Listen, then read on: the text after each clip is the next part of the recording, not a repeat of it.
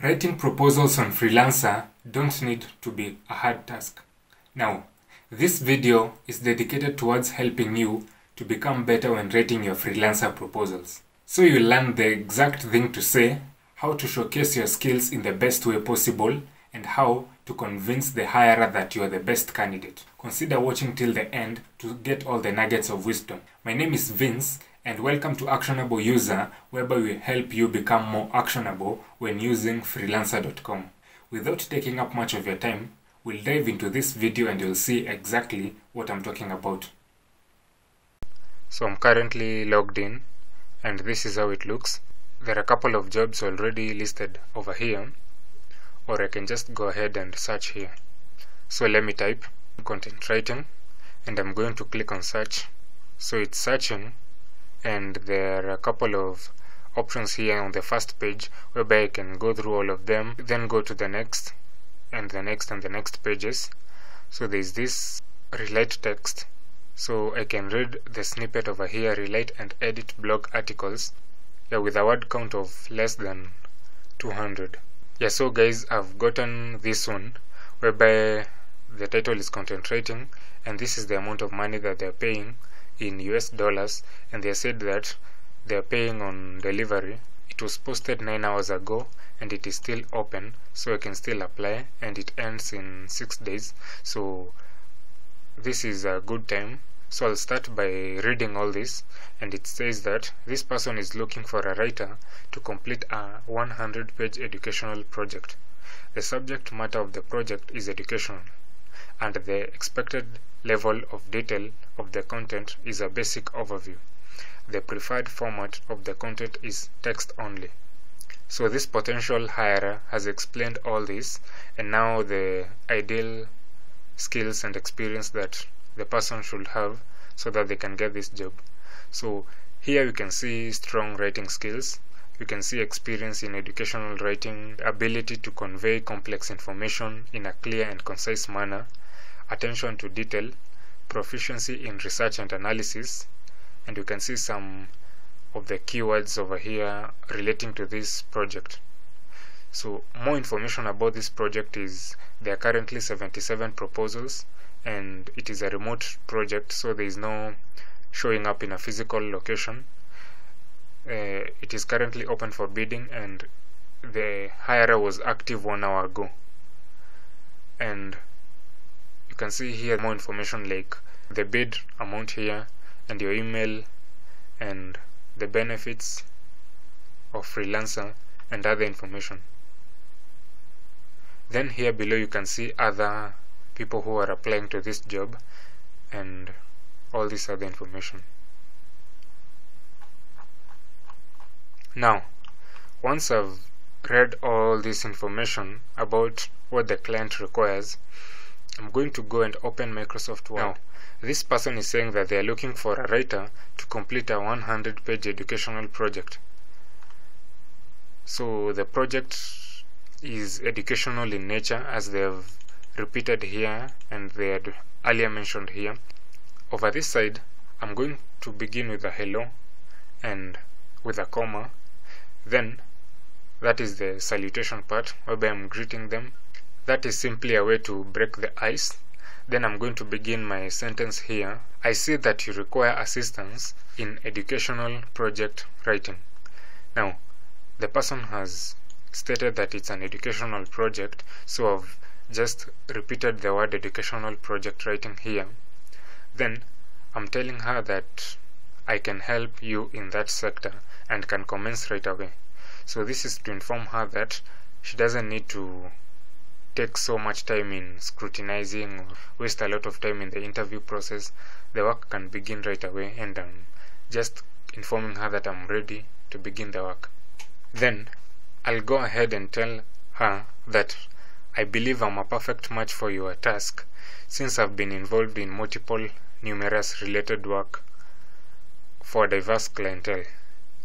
Now, here she stated that she wanted someone who is experienced in educational writing and in this paragraph I'm assuring her that I'm the perfect match for this task because I already have that experience since I've already been involved in multiple numerous related work for diverse clientele. Then I'm going ahead and adding that over the years I have written well researched content for academic and teaching purposes. Now, here she used the words educational project and I didn't want to use the word educational again so as for it to be kind of unique and not that I just copied all these words and inserted them here. I've avoided the word educational on these other paragraphs. I've used the word academic whereby I'm telling her that over the years I have written well researched content for academic and teaching purposes and other related tasks. The words I've used are academic and teaching. Now, that is the same as saying educational, but I want to be perceived as more unique and someone who has read and understood all this project. I'm going to tell her that I deliver well written and proofread work ready for use. So this is informing her that I already have the strong writing skills that she doesn't need to worry about any other thing. After me doing the work, all she has to do is deliver it to her students and it will be ready to use. So with that, I'm assuring her that I already have strong writing skills. And moving on, she says that this person needs to have the ability to convey complex information in a clear and concise manner.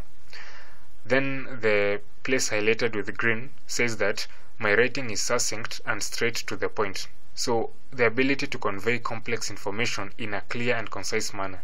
Now I didn't want to use the word concise again and also clear and also complex because it will be unoriginal and repetitive. So I instead used the words succinct and straight to the point to echo this sentence and you need to come up with creative and innovative synonyms so as to help you stand out. Then the person is saying they need someone with attention to detail. I'm going ahead and in this last sentence of this paragraph, I'm telling her that I am keen on instructions and particulars. In other words, saying that I'm attentive to detail. Come up with better words like keen to instructions and particulars, just to show her that you've read and understood this and not that you're lazy and copy pasting everything.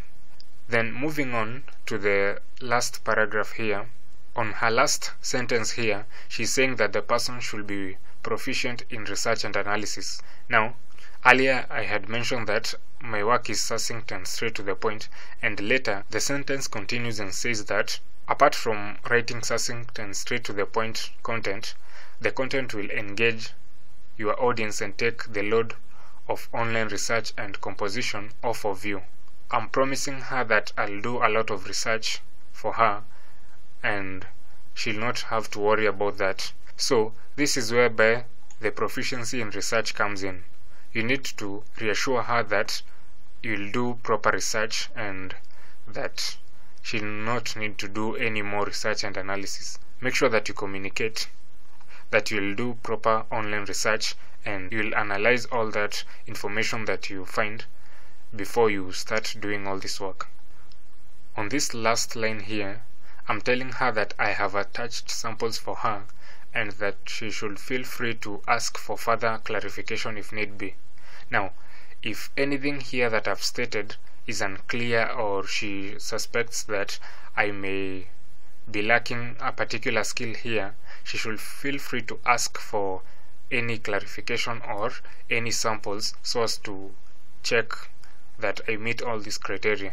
And here below you can sign off and let her know your name or you can just eliminate this part because your account will already say who you are.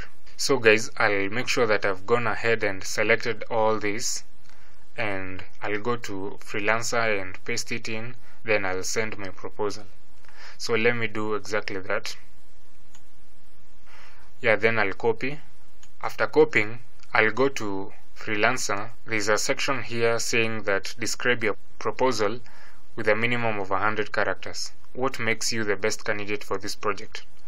And I'm going to take my proposal and paste it inside here after pasting it in then I'm going ahead I can go through this and change them by increasing them or lowering them but I'll just leave them at this then we can see here below that there are optional packages whereby I can get to sponsor this current bid. So by paying this amount I can get to sponsor it or do these other things like highlight it or seal it to make it stand out more. Then after that there's a clarification board here. Now I can click on this button to place a bid and I'll do exactly that after clicking on that I'm being told that you have successfully placed a bid. Now this is my proposal over here and I'm being told that if I find that I want need to edit something I can click on edit and I can change some piece of information or if I need to retract my proposal I can just click on retract here and it will be retracted. To know more information about the progress of my application I can just come here to recent messages and I'll see the messages lined up here. So if you get a reply this is where it will be. That is how you can easily come up with the best freelancer proposal. Also remember that I've created other freelancer tutorials like how to apply for jobs on freelancer.com and you can find that linked in the description box below. Remember to leave me a comment on which other video you like to see me make next. Like this video, subscribe to this channel and guys, I'll see you on another video. Goodbye.